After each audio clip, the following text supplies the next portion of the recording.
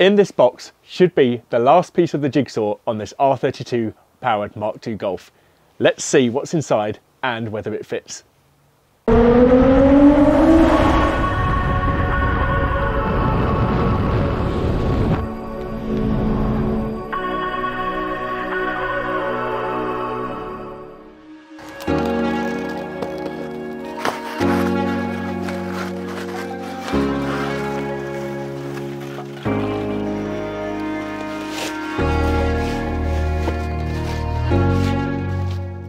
So, what we have here is the fan shroud and fans for our Golf. But the question is, can you guess what this is from? Clue, it's not from a Mark III Golf VR6, which is what we originally intended. After discovering that a Mark III Golf VR6 fan shroud is incorporated into the SLAM panel, we had to find an alternative.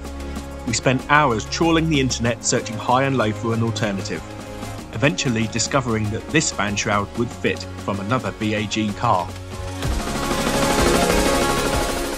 So you may have seen in our last video that we fitted this Mark III Golf VR6 radiator and had to modify a few bits to get it to fit. Unfortunately, a fan shroud from a Mark III Golf VR6 doesn't fit. So I've ordered this used part from another car and we're to get this to fit. But I just have to do some measuring to make sure that I've ordered the right part. I grab a tape measure from my bedside table drawer and measure the fan shroud mounting holes on the front of the radiator. In theory, these should be the same distance apart as the mounting holes on the fan shroud. Going by my measurements, the width is 665mm and the height is 185mm. The fan shroud will be going on the rear of the radiator, to which the mounting holes are the same as what's on the front.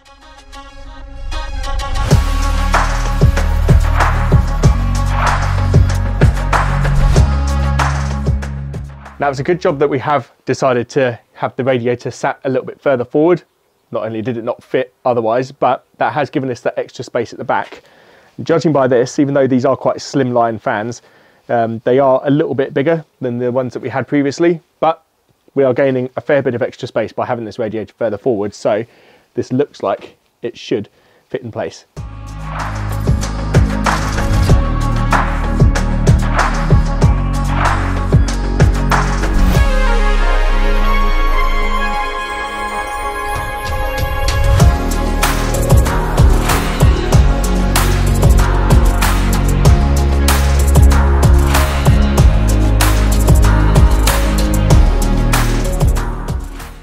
I'm, I'm just not convinced, to be honest. No, I think they'll be fine because, as I've said, the radiator before was sat right here, it was almost up against the inlet manifold here. These then bolted through the radiator, sat on the back of it. So they were obviously a sat a little bit further down. They were kind of right down here in the radiator rather than up top. Yeah, yeah, I remember. But that meant that you, you do have that clearance because you don't put the fans, you know, the manufacturers don't put the fans where there is going to be clashes. So, and these, okay, they're slimline fans, but they're actually not a lot different really to what we've got here. There's less difference between the height of this and that than there is between what we've gained by moving the radiator further forward. Mm, yeah. Time will tell, eh? Yeah. So the old radiator, the fans were fitted through screws in the fins, weren't they? yeah. And Yeah. it looked really awful. It did. Um, that is traditionally a way that people do tend to do it, and there isn't technically anything wrong with it because you're not actually damaging the radiator. The fins are only there to dissipate heat, but it is a bit Heath Robinson. I don't really like it, um, so that's why I wanted a proper fan shroud. The fans on that new one with the dedicated shroud are much bigger. It should direct the airflow through a lot better as well, so it would help with the cooling. So I think it will probably be beneficial to have it on a proper fan shroud system. I think it gives give you a bit of reassurance as well, the fact that it's not held in by some screws, even though that is the done thing in some circumstances. Yeah, yeah, definitely. Um, I think one thing we will have to do as well is just on these bits here, these bits mount into the slam panel. Um, obviously, a Mark III slam panel is different, so therefore these would normally just kind of rest within it. We've got a Mark II Golf, obviously, so we're just going to have to make up some brackets to just to bolt through into the slam panel. But at the moment, that is actually quite quite secure, really, for what it is. Now, as you can see, It's a little bit rusty. It is secondhand and we actually don't need this bit along here. We get to cut about two inches off because that is what would foul the radiator support panel, which we fitted a couple of weeks back. So we're going to go to Ben's.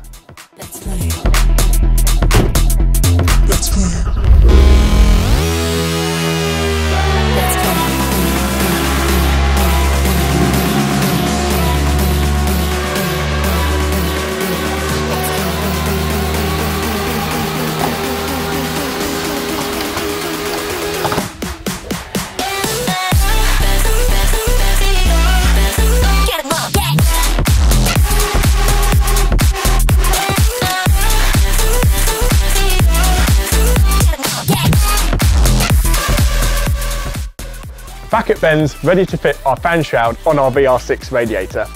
With our previous setup, the coolant level, every time we went for a drive, would rise right up in the coolant bottle and just wee out everywhere, and it was an absolute nightmare. And now, since we have fitted all of our new pipe work with the new radiator, the coolant level is sat pretty right where it needs to be.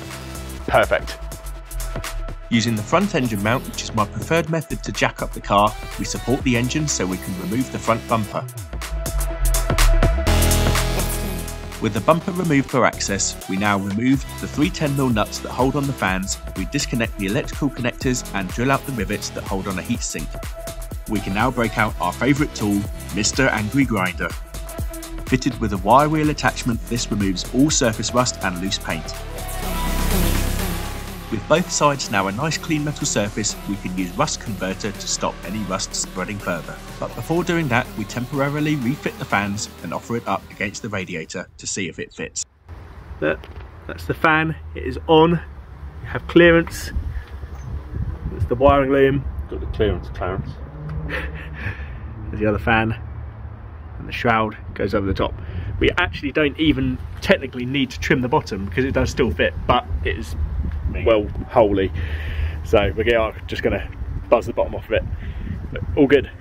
The rust converter goes on in spades to kill off the rust. With the whole thing covered, we wait for it to go off. Any parts that have made contact with rust turn black. And, well, yeah, that's a lot of it. However, it's solid, any rust that was there is now treated, so we break out the 120 grit sandpaper and just give it a key. Whilst trying to avoid giving Ben's washing line a coat of paint, we spray the fan shroud in etch primer. With the conditions outside as they were, it didn't take long to dry at all, so a top coat of L041 black for that extra glossy shine.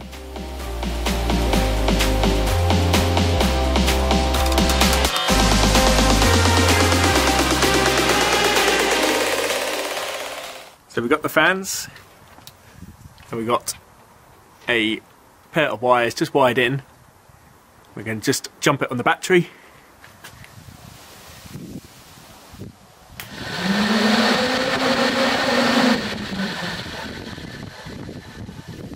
Go. Both fans work, and they're pulling the air through the radiator like that. Now we've got the radiator fan shroud all painted up, it looks great. Uh, we've taken a little bit off the bottom. I originally thought we might have to take the whole bit off, but it actually didn't need anything taken off. We just did it because it had some holes in it. So we've treated it, painted it, that shouldn't rust anymore. We've now got the fans on, we've routed the wiring and we've tested it and the fans rotate in the correct direction. So we're going to offer it up against the radiator, probably a last little bit of wiring just to route in and then we're good to go. I hope you like Ben's net curtains. Searching for the right fasteners to attach the radiator shroud to the radiator. Hunting through my collection of random Volkswagen and all sorts of bolts, thinking, I can't find it. I found two. They're screws, not bolts. So they're in the screw drawer. There we go. We're not screwed after all. Should ever you need anything, just any random crap, Ben is going to have Spares. some some random crap lying Stock. around. The fan shroud is on. The fans are in. We do have clearance. That is actually probably still with more space, I reckon, than what the previous radiator and shroud had, and the the fans on the back. Yeah, I'm pleased with that. I will reveal soon what the shroud was. In our previous video, you might have noticed that our radiator was supported on the bottom brackets that we made up, but we've got these points here, which we have marked out, which will provide a positive location for the top of the radiator to rest in once we've drilled out the holes. Right, check this out. So to mount the top part of the radiator into the slam panel, we have a stainless cap head bolt which runs through. We've got a nylock underneath with a washer securing it in place, and then a riv nut which is threaded onto the uh, stainless bolt, which rests perfectly within the little groove, the cutout part of the top of the radiator. I think that is a job well done. That is not budging whatsoever. I'm proud of that.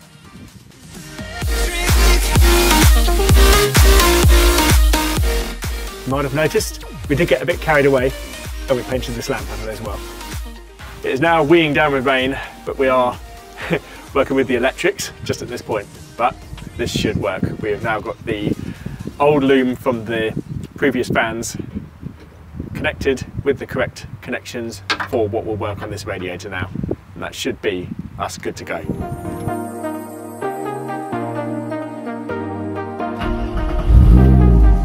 So that's it. We've successfully fitted our radiator fan shroud and the one that we have used is from a Seat Ibiza 1.8 20 valve turbo. We believe it might be the only one out in the country, um, but it fits, it works, and we've got plenty of room to play with. So that just shows that there is plenty of ways to skin a cat or peel a tomato or whatever you want to do if you like cats. Um, but yeah, I think that just shows that you don't have to go for these fabricated special builds which cost hundreds and hundreds of pounds. This wasn't an expensive modification. It took a bit of time because we made sure it was nice and tidy, but it looked great. I'm really, really proud of the way this has turned out. So thank you very much, Ben. What we're going to do, we're going to get it warm. We're going to make sure that everything works as it should do, and then we're going to go for a little drive. See, I can't do that double clutching thing that Ben does where he like flips the foot so you get that one as you peek inside. Yeah, I can't do that. I've tried it, I nearly crashed every time. So. Practice. Which way is it? Uh, Can you go round? Up there. Oh, right. Just not indicating that it's got a pin.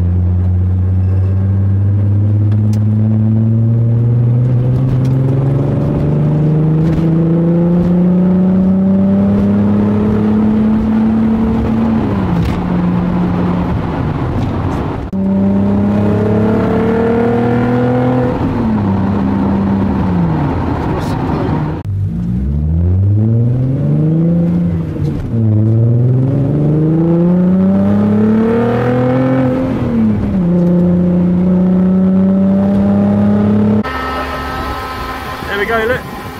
After our little drive, the fans are on. Well, I'm getting some breeze blowing back from here. I class that as a resounding success. Thank you all so much for watching Southeast Mark II Golfs. See you next time.